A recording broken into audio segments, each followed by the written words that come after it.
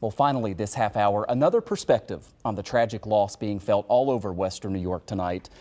Firefighters across America face this type of danger every single day. And in 1992, Congress created the nonprofit National Fallen Firefighters Foundation. It's to lead a nationwide effort to honor America's fallen firefighters and provide resources to assist their families.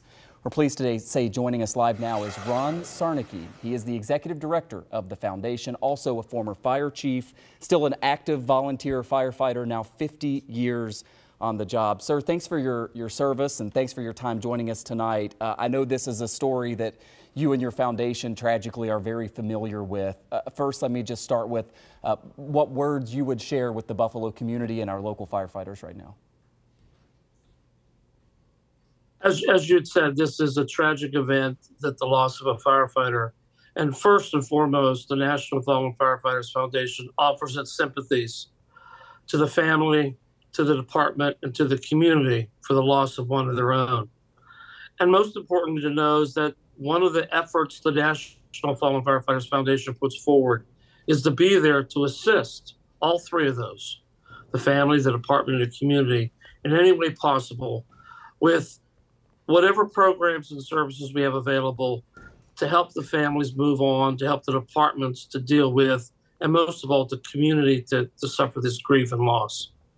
How does your foundation assist the families of fallen firefighters? I, I was un, unaware of, of how this exactly works. What are the, the first steps and the, the resources that are available here?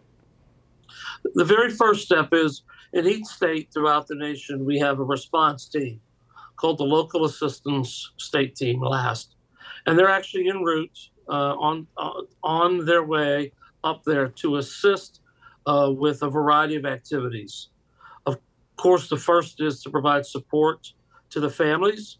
Uh, I, the chaplain is right on key with his efforts and that notification in the long-term care and support dealing with that grief.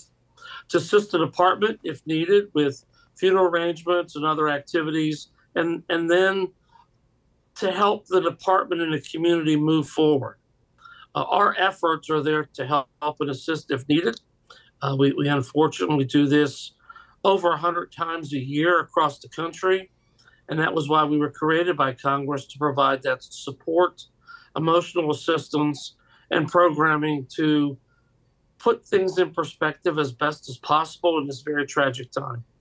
Yeah, and that number you just shared with us adds some important perspective and, and some context. 100 different times a year on average um, that, that we lose a firefighter. I think it speaks to the, the danger that goes along with this job and, and how fortunate we are as a people to have firefighters on the clock all the time.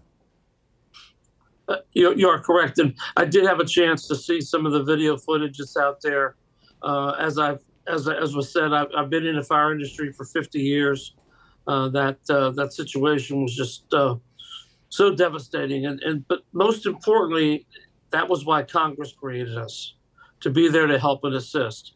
We'll be working with the International Association of Firefighters, with the department in any way that is needed.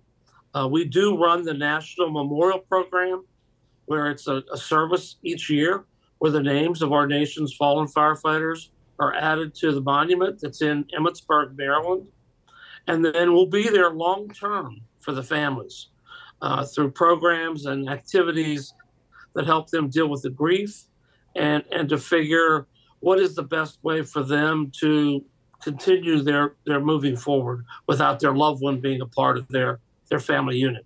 And finally, sir, I've only got about 30 seconds left, but you were mentioning the, the support, obviously, first and foremost for the, the families, but there are a lot of firefighters um, who are mourning their colleagues tonight and, and remembering them as well, right? You're absolutely right. And, and there are a variety of behavioral health programs out there to help them deal with that grief and that loss.